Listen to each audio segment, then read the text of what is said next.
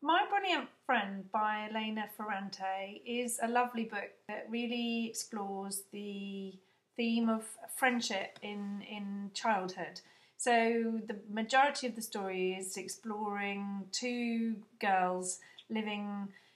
very close together in a suburb of Naples in the 1950s. One girl takes a conventional educational um, route of going to middle school and senior school and commits herself to full on education,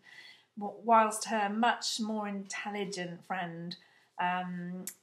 gets sidetracked by the family business, shoemaking, and then wooed by a, a local sort of ne'er do well who then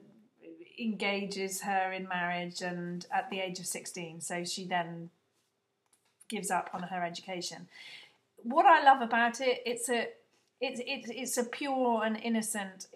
evocation of friendship before there are the unadulteries of life which invade a friendship to so that it becomes something that hinges on a few hours contact a, a year or a month if you're lucky, um, to something where you spent 12 hours a day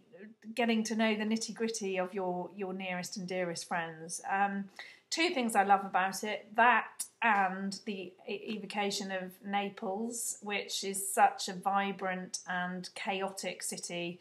Um, if you've never been, this I think will make you want to go, and if you have been, it will make you realise how much you miss it. It's the first of three in a trilogy, um, which is even more exciting because it means there's more good stuff to come.